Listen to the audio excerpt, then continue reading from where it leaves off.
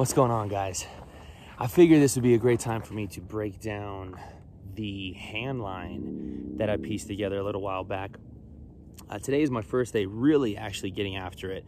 I had it out at another lake, casted it maybe a half a dozen times just to test it out. And honestly, it is freaking awesome. As you guys can see, as long as you, at least with this specific one, the way the way that I made it, as long as you pull out all the line that you expect to cast out before you actually release your cast, this thing is absolutely fantastic. As you can see, I was throwing it out there about 25, 30 yards, and that is pretty darn far with this bad boy. And as you can see, on top of this, um, I mean, it's really nothing fancy, but it is super, super fun. Uh, it's got the 550 cord handle. Obviously, it's got the inner gut, so if you needed extra leader or you needed additional survival fishing line, you have it. I had a bunch of fishing line on here, 220 yards to be exact, way too much. Ended up getting backlash, just like a normal fishing line or a normal fishing uh, rod and reel and it was a pain in the tush.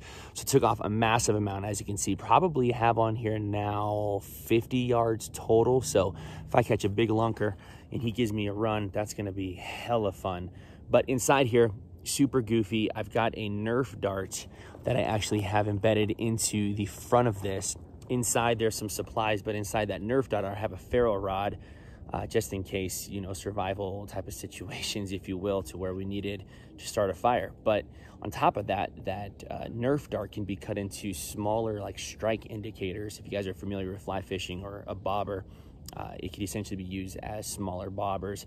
And then on top of that, I have underneath here a cork that has hollowed out and a bunch of fishing supplies in here from uh, miniature bobbers to hooks to swivels to sinkers to split shots to fill in the blank. But just an awesome little addition to the tackle box, something to put in your pocket and have fun with.